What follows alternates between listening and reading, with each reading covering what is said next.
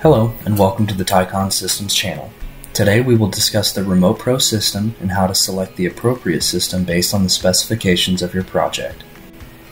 We design each system based on the total average power draw, equipment voltage requirements, and peak sunlight for your install location.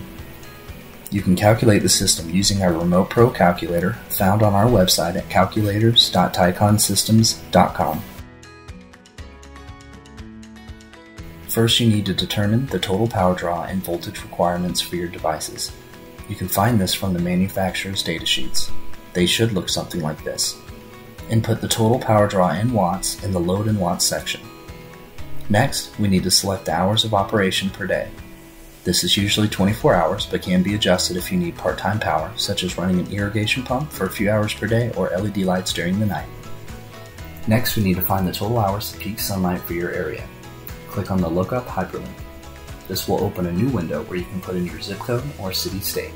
For example, if you're installing your system in Denver, Colorado, you can see that the peak sunlight in December is 4.64 hours per day.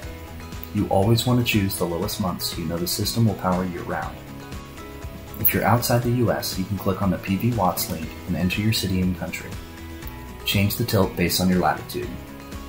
Use the tilt calculator found at calculators.tyconsystems.com to determine the optimum tilt based on your latitude.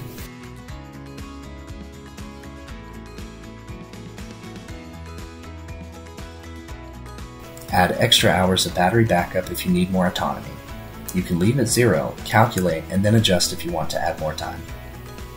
You should see a few Remote Pro systems to choose from. Our part numbers will tell you the type of enclosures that come with the systems, the output voltage, the battery bank, and the solar array.